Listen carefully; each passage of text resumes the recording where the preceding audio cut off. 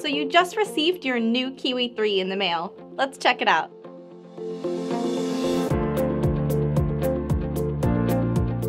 First, let's start by understanding what the icons mean on your Kiwi 3. The power icon will be solid when the Kiwi 3 is properly connected to your OBD port. The Bluetooth icon will flash, indicating it's searching for your smartphone. It will turn solid once a Bluetooth connection is established. Next, the app icon will flash, indicating data is being sent to your favorite app. And lastly, the OBD icon will flash, indicating data is being received from your engine. Now you're ready to get started. Kiwi 3 is as easy as 1 2 with InstaConnect, the first technology of its kind on the market. Simply locate the OBD port under your steering wheel, plug in the Kiwi, and launch your favorite app. Kiwi does the rest. No two apps are the same. This video will show you how to set up OBD Car Doctor for Android. Make sure your Bluetooth is on. Hit Scan for Devices, then verify Kiwi is listed under Paired Devices. Next, hold down the Home button and close any competing OBD apps.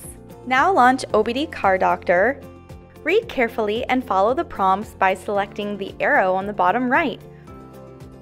Once you reach slide 8, select Kiwi and then the right arrow. Select Connect.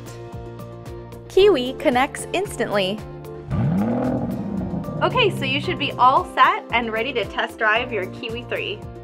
If you still need help, go to plxdevices.com or contact our support team.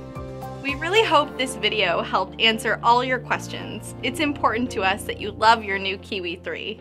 Please leave us a comment below and subscribe to our channel to stay plugged in. Thanks again for watching and helping us bring the future.